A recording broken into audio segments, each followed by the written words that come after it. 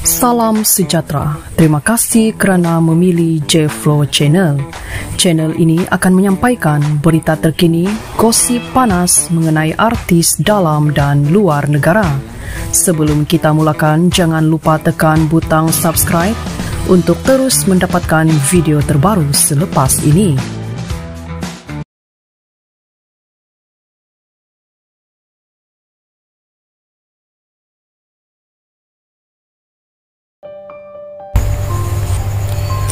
Pengacara terkenal Datu Asnil Nawawi menyifatkan kempen Block Out 2024 yang dilakukan rakyat Malaysia ketika ini sebagai keterlaluan kerana menjatuhkan maruah sesama manusia.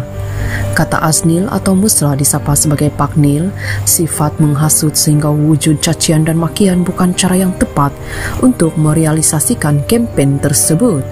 Pada awalnya kita mahu jatuhkan Yahudi, tetapi akhirnya kita jatuhkan saudara mara Islam kita sendiri. Syaitan kalau gagal menghasut untuk menjadi jahat, dia akan menghasut untuk kita kelihatan baik. Kita nak jahanamkan kaum Yahudi, tetapi pada masa sama kita berpecah. Syaitan sukalah situasi Islam berpecah belah katanya menerusi Instagram.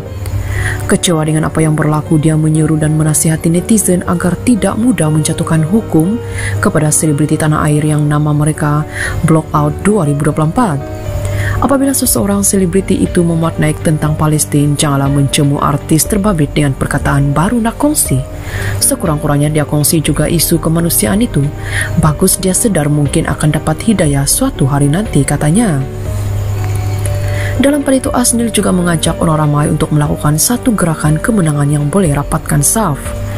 Jom kita buat satu gerakan kemenangan yang boleh rapatkan saf antaranya dengan membaca Al-Quran dalam aplikasi TikTok.